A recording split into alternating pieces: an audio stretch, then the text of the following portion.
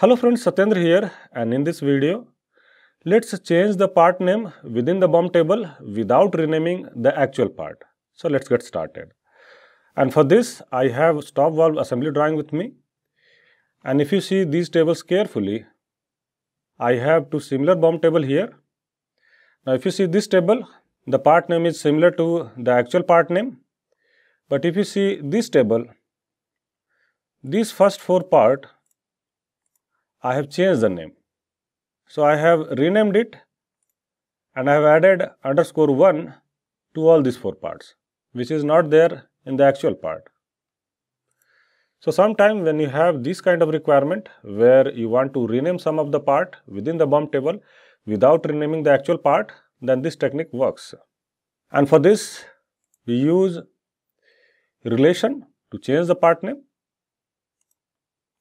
Now using this technique, you can do minor changes to your part name or you can even change the entire name as per your requirement.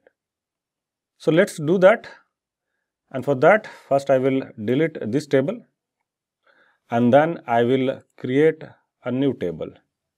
I'll go to quick table, I'll select this table and I'll place it somewhere here. Here I'll just delete these two columns. I'll move this table this side. Now I'll go to format and I will change the font.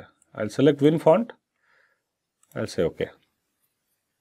Now select this table, move it little bit this side, go for table, move special, select this node.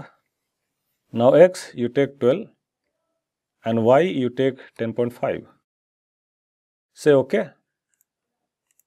Now go to repeat region, attribute, select this table and just say no duplicate level and say done.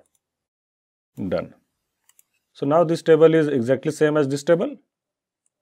Now here first I'll change this part name and for this I'll go to repeat region, relation, I'll select this table and here I will write the relation.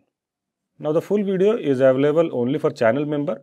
So become the channel member to watch the full video and support the channel. Thank you.